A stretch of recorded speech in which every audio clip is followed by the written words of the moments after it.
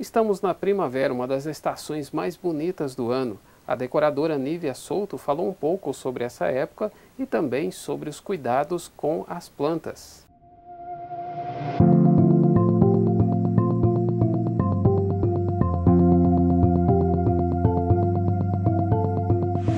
Hoje estamos aqui com a Nívia Souto, que tem mais de 20 anos de experiência com flores. Não é isso, Lívia? Isso mesmo. Desde 97 nós estamos trabalhando com flores, né, trazendo flores para Monte Carmelo em várias situações. Desde a pessoa que nasce, a pessoa vem, procura para entregar flores, para presentear, pessoas, né, o casal que é que está comemorando aniversário de casamento, aniversário, entre outras datas comemorativas, nós estamos aqui. São, estão sempre presentes, né? Na vida de, da toda a população. Em várias situações, em várias ocasiões. Inclusive, né, nesse momento que nós estamos, como que está a procura por flores, né, por a decoração de ambientes? Foi muito complicado essa parte da pandemia, né? Quando surgiu tudo isso, a gente ficou meio que receosas porque o que fazer? Mas foi um pulo muito grande, né? O pessoal começou a procurar as plantas, até na parte não só para presente, mas também para dentro de casa, para decoração de interior e para parte de paisagismo. Então teve uma procura muito boa, porque o pessoal estava em casa, queria cuidar das plantas que tinha. Quem queria fazer um presente, dar um presente, também procurou flores, né? Porque eu acho que era um momento é, de afinidade com as pessoas e de demonstrar o carinho das pessoas, de abraçar as pessoas através das flores. Então, graças a Deus, a gente teve uma aceitação muito grande e teve uma procura muito boa. Aproveitando que você falou, nós estamos na primavera, que é uma das épocas mais bonitas, mais coloridas, mais floridas do ano.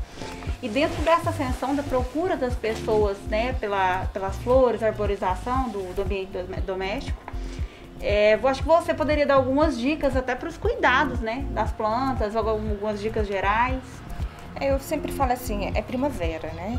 Estação das flores.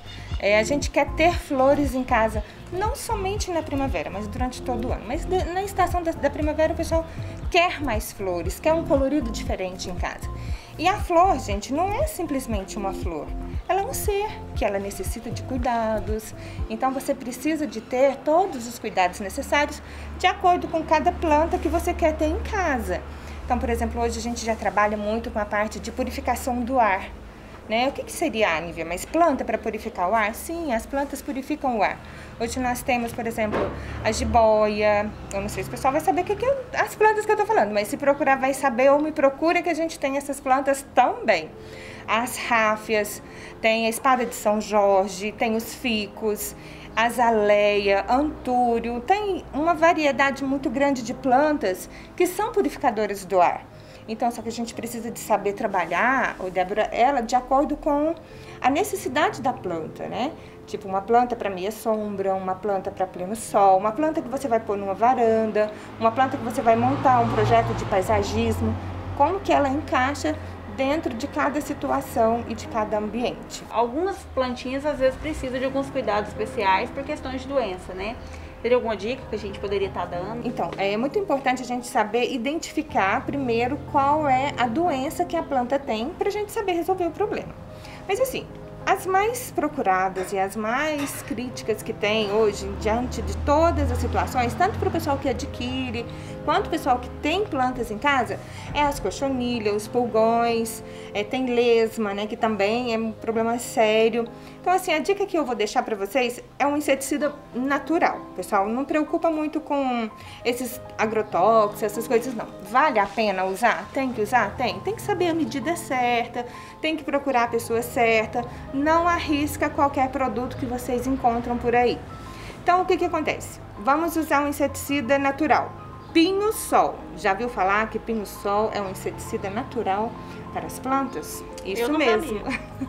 então não precisa de ficar com medo. Só que eu vou deixar a dica e é o seguinte: não é um preventivo. Ela simplesmente vai solucionar o problema já adquirido nas plantas. Então você vai usar 20 ml de pinho-sol para 1 litro de água. E você pode acrescentar nessa medida mais 10 a 15 gotas de detergente, detergente natural também. Né? Você coloca isso na água, coloca num pulverizador e vai borrifando na, plana, na planta que estiver atacada.